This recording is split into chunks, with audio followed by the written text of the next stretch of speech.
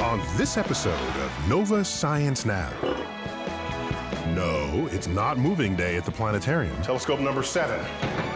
These new telescopes are searching for the cosmic holy grail alien planets that can support life. We want to find Earths. We want to know whether we're alone.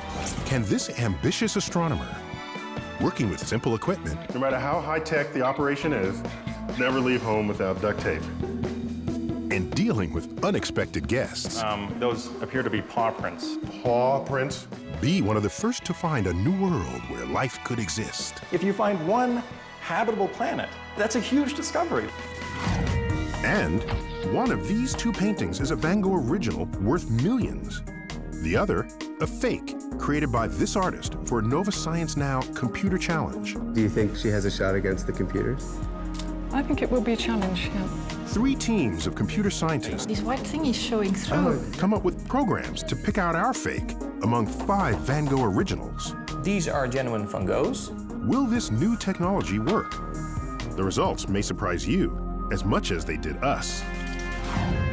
Also, in this episode's profile, you'll meet a biologist studying some spiders whose mating habits are to die for.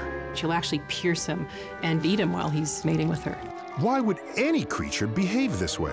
It's what evolution's all about, right? It's sex and it's death. And it's all wrapped up into one really interesting story. All that on this episode of Nova Science Now.